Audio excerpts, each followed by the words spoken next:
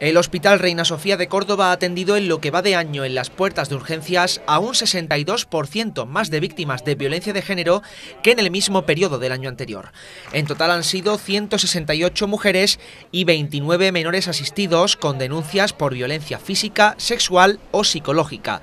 Por ello, el centro sanitario de referencia en la provincia de Córdoba está trabajando para obtener la acreditación de centro comprometido con la violencia de género. Una información que se ha dado a conocer en la conmemoración este 25 de noviembre del Día Internacional de la Eliminación de la Violencia de Género, en el que el hospital se ha sumado a la campaña Banco Rojo, instalando tres bancos en homenaje a las mujeres asesinadas por aquellos que decían amarlas en los lugares más frecuentados del exterior con frases que llaman a reflexionar y denunciar los casos del maltrato a la mujer. Cada uno de estos bancos